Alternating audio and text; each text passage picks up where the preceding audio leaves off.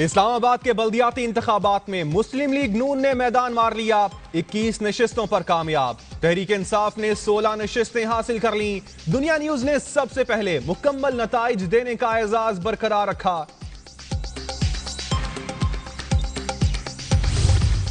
हुक्मरानी का ताज कौन सजाएगा? बॉल आज़ाद उम्मीदवारों के कोर्ट में। इस्लामाबाद के बल्दियाती इंतबात में तेरह चेयरमैन आज़ाद हैसियत से कामयाब। वज़ीर आज़म नवाज़ शरीफ फ्रांस से लंदन पहुँच गए। कहते हैं, भारतीय वज़ीर आज़म मोदी के साथ दोनों ममालिक के दरमियान बेहतर ताल्लुकात पर बात हुई। जरा जरा सी बात पर प्याली में तूफ़ान खड़ा करने वाला भारतीय मीडिया खामोश। नवाज़ शरीफ से मुसाफा करने के लिए मोदी के जाने पर साम सूंघ गया।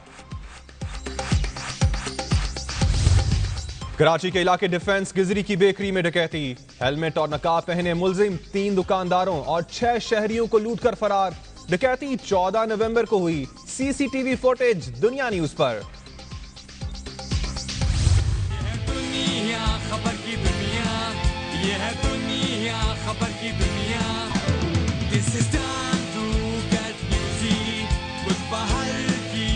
दिस।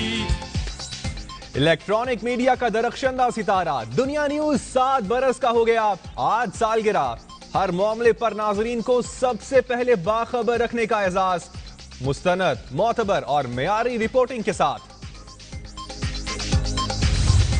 पेट्रोल और डीजल की कीमतें बरकरार। मट्टी का तेल सस्ता और हाई ऑक्टेन महँगा कर दिया गया।